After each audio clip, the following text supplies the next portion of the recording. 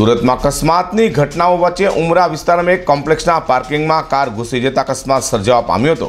જોકે સદનસીબે કોઈ જાનહાની થઈ નહોતી તો સમગ્ર ઘટના તો સીસીટીવીમાં કેદ થવા પામી છે કે અકસ્માત કેવી રીતે થયો હતો. સુરતમાં કેટલાક બે જવાબદાર વાહન ચાલકો વારંવાર અકસ્માતની ઘટનાઓને અંજામ આપી રહ્યા છે. ત્યારે ફરી સુરતમાં મંગળવારે અકસ્માતની ઘટના બનવા પામી હતી, જેમાં ઉમરા વિસ્તારમાં એક કોમ્પ્લેક્સના પાર્કિંગમાં કાર ઘૂસી જવા પામી હતી. કારમાં પાંચ લોકો સવાર હતા, જેમાં ચાલકે સ્ટેરિંગ પરથી કાબુ ગુમાવતા કાર સીધી જ કોમ્પ્લેક્સના પાર્કિંગમાં ઘૂસી જવા પામી હતી. સદનસીબે અકસ્માતમાં કોઈ ઈજા જાનહાની થઈ નથી, તો સમગ્ર ઘટના સીસીટીવીમાં કેદ થઈ છે. અઝર કુર્સી સાથે હર્ષદ સેટા.